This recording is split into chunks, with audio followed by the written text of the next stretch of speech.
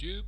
This is Sergio and today I decided to record small first impression video about new civilization just announced for Gathering Storm and I'm pretty excited with it and I haven't done anything like this before but for Ottomans I think I should record. Suleiman leads the Ottomans in Civilization 6 Gathering Storm. He is commonly referred to as Suleiman the Magnificent and personally led conquests to expand his empire while instituting societal reform. Suleiman's unique ability is Grand Vizier. This unlocks a unique governor, Ibrahim, with his own unique promotion tree first and very interesting thing about Ottomans is unique governor. Great idea and I think it should be extended to other civs uh, like one or two extra civs with their unique governors will be very interesting to play with because idea is great but I don't know how uh, other ships were redesigned for Gathering Storm expansion, they were, but as governors, by the way, all governors uh, were mastered and very interesting to use them and some new promotions, some were reorganized and uh, switched between governors and So let's return to Ibrahim. It takes only three turns to establish and as said it's military and diplomacy focused governor.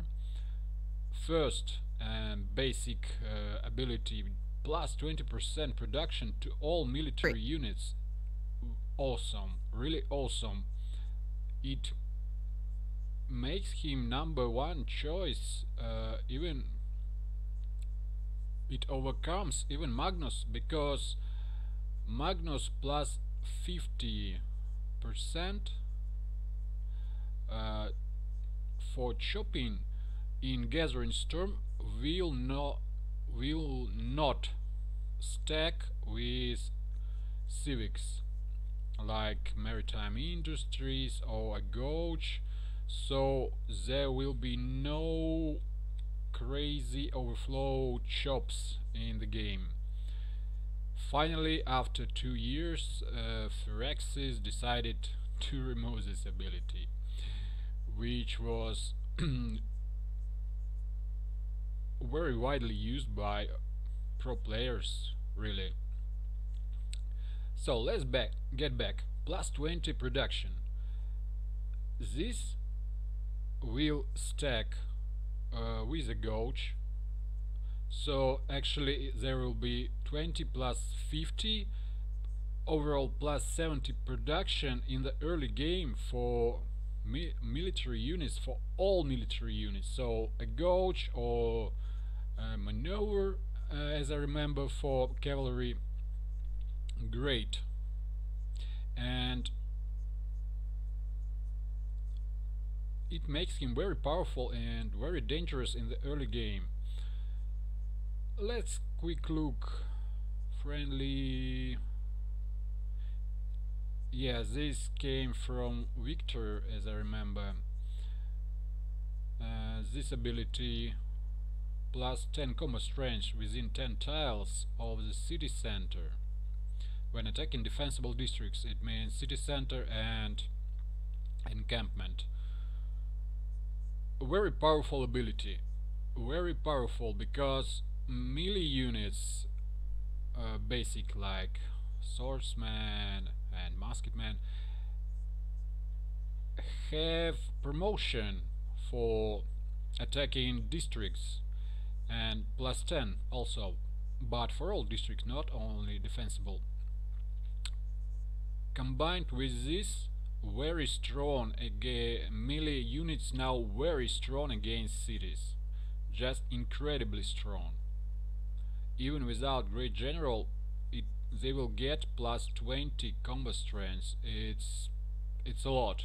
And later I will talk about unique unit. And in medieval and renaissance era these guys will be very dangerous. Now there is something interesting we can read. When established in an allied foreign capital alliances leveling rate is increased. So this guy it will be said a little bit later is the only one can be put in other players capital or another city but there is no sense to put it in some other cities because all bonuses come from capital. Grievances it's new mechanics like uh, diplomatic approval or disapproval so diplomatic disapproval will be reduced I can say I don't know how it will work but as I understood from streams it like uh, approval and disapproval but it's now a currency grievances and it can be accumulated spent exchanged and some of. So it uh, should give more flexible diplomacy but we will take a look. And the last ability really strong for late game it may be not so important as in early game when loyalty is a problem when you get in your first or next cities uh, near the capital near the enemy capital because capital have very high loyalty pressure on all other cities and this ability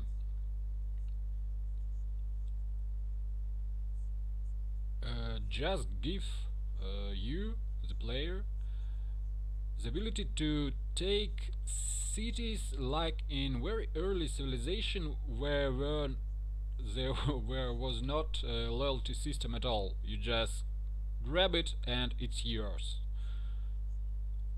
So it returns to these times unique governor with maximum promotions.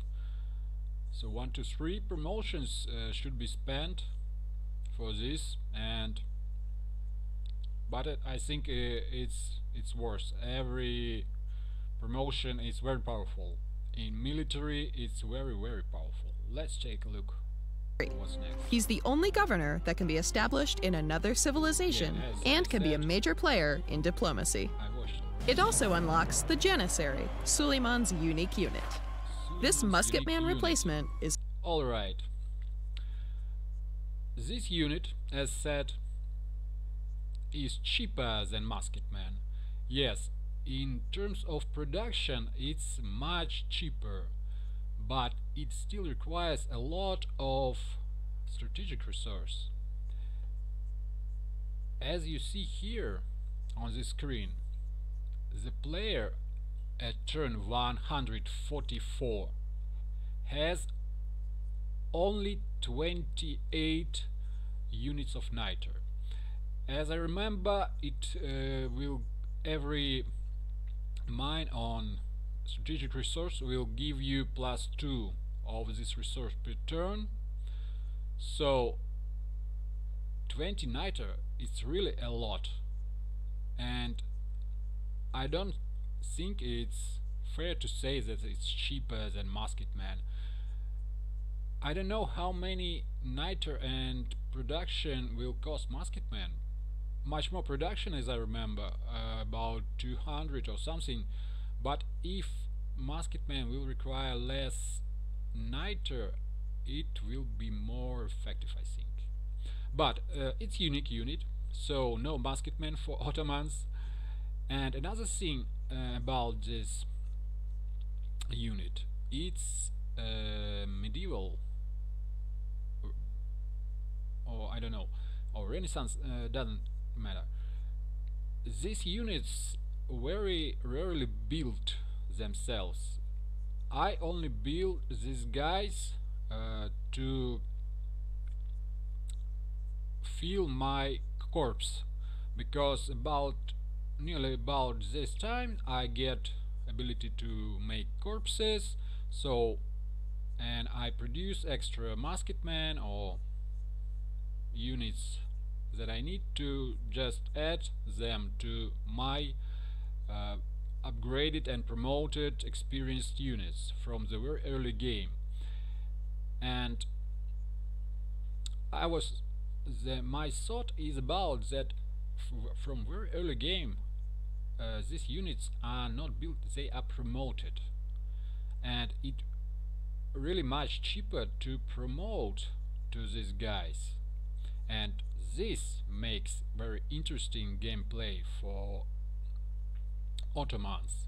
Because if you promote and as said here and said later in this video it consumes a population. Every trained unit consume a population if it's trained in your own city. If it's trained in a city that you conquered it doesn't consume a population but when it's upgraded I think it also doesn't consume any population.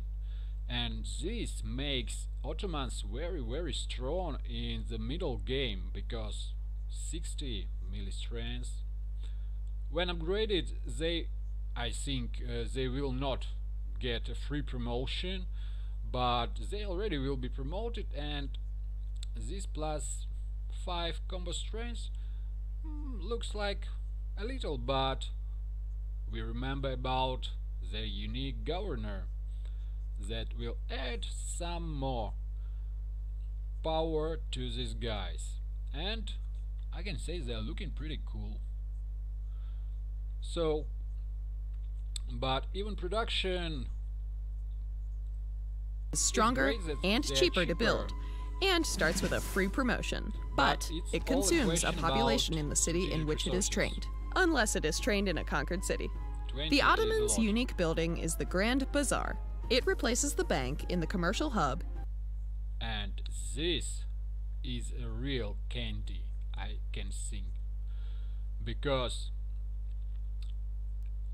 this building, when you go for domination, and I think Ottomans are created for domination games, this building is must have when you're going for a war because army is very expensive and extra great merchant points are very good.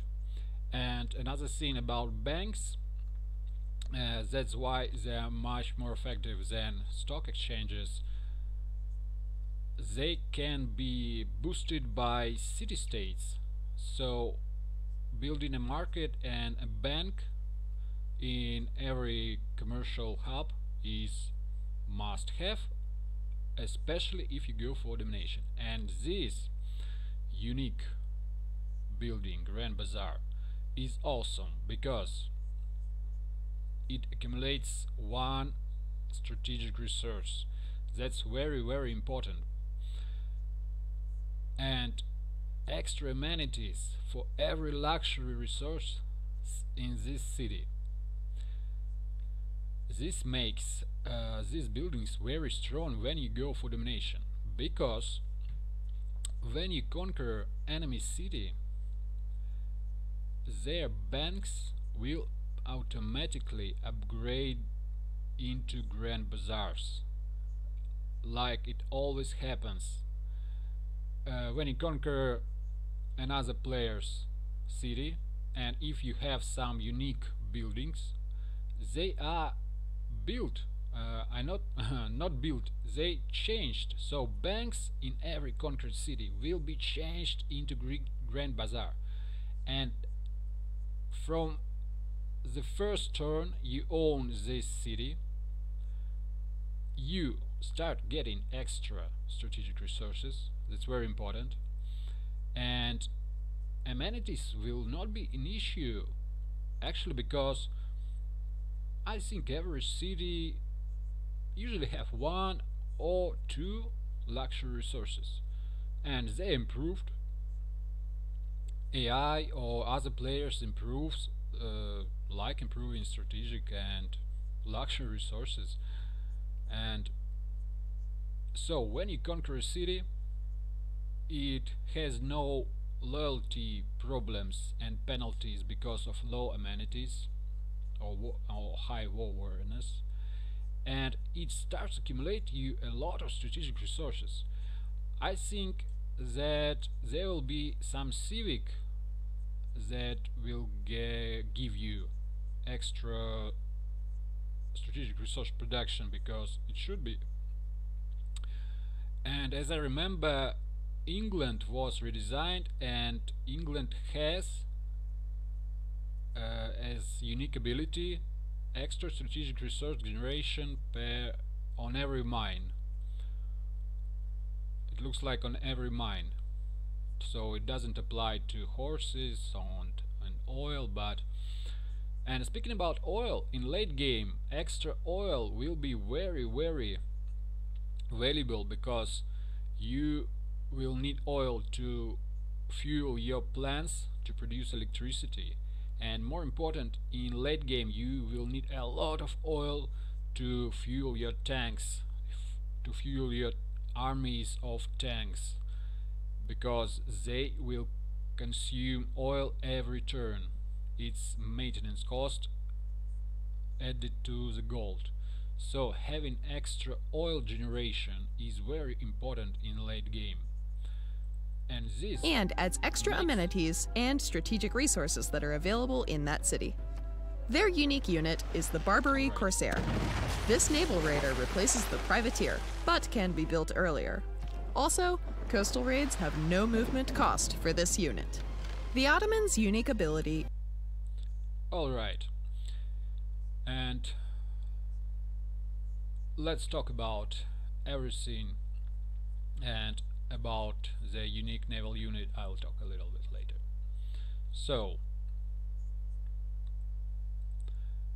Grand Vizier, unique governor, very strong, very powerful guy and very flexible I can say and it will be used in every game. It is the first governor you should hire, not the Magnus, not other guys just this guy. Because now uh, he has a promotion from Victor that adds plus 5 combat strength to every unit on city range. So it now and defensible also defensible two defensible unit uh, governors. Alright and that was not covered in the video just yet Great Turkish Bombard. Excellent ability. Plus 50 production to our siege units. And extra combat range to all siege units. This is nice and really good addition because conquered cities can lose about half of their population and this is becoming a problem when you get a lot of cities and you just need to wait before they will restore their normal population to start producing new units because you will need them to make your janissaries. If you going to make them make in the foreign cities not your own not that you have uh, founded only that you have conquered. And this is a great synergy by the way city do not lose population. City do not lose loyalty or amenities because of all this and it immediately start producing you your unique units. Nice mid-game synergy. Firaxis great job. And this is very powerful because it's unique. There is no civic in the game that boosts production of siege units. And this guy can make a lot of and can't make a lot of bombards he can make them fast. And this stuff I think will be stacked with Magnus. So probably 100% of production per siege units. You are welcome. And extra combo strength great it's like a free promotion especially in early game when you have catapults if you use them. Plus 5 it's a lot. Plus 5 to bombard or artillery not too much but still good. Cities not founded yes as I thought as I talked previously plus 1 amenity plus 4 loyalty extra amenity from Grand Bazaar. So conquered city will be happy. They will be really happy to join the Ottoman Empire. And the last thing is Barbary Corsair unique medieval era unit that replaces privateer. Cost no movement on coastal raid and about raids like uh, developers said in their last stream I guess. They finally redesigned pillaging in the game. Now it will give you more and more uh, as you go through areas it's like um, or maybe even like resources. When you harvest resources every several turns yields are increased. So the same thing with pillaging. In middle game and in late game now you can grab a lot of free culture science or gold just from pillaging districts. And now uh, raid units, especially naval raid units, are becoming very dangerous. Also, I should mention that in Gathering Storm, I think coastal cities uh, will not be the favor, not be the first choice for players, because just because of climate change. Now they can be flooded from sea. They were vulnerable for attacks from in in first Civ and all expansions. So players are usually were settling not on coast but at least one tile from the coast to be safe from sea attacks and now it's even more uh, I can say less options for settling on a coast because you can be pillaged, you can be flooded, you can be easily attacked. So now it's it tends to be settling inland more safely for the players especially if you play against other people but overall I can say about Ottomans it's great militaristic civilization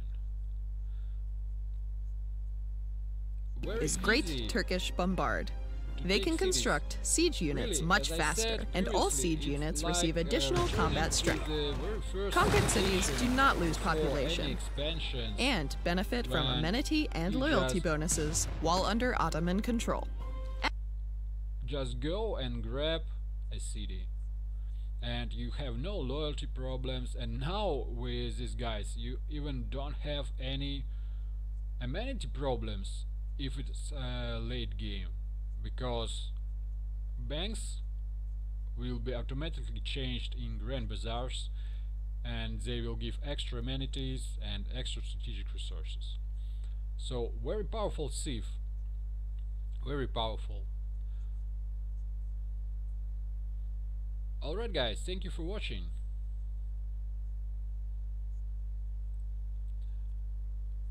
This was my first impression bye